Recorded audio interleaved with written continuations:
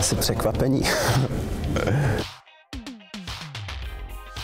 No, tak trochu jo. Já myslím, jako, že s tímhle se asi tak často nesetkává, ale tak vím, že tady už byla uh, Čiči Tornádo a takhle, takže na něco jakoby o tom dragu, proč to dělám, co to tady děláme. uh, jestli jsem krásná. Docela dobře, jako měl jsem za posledních pár dní pár nervových zroucení, ale teď jak jsem tady v šatičkách a takhle, tak myslím, že to bude sranda.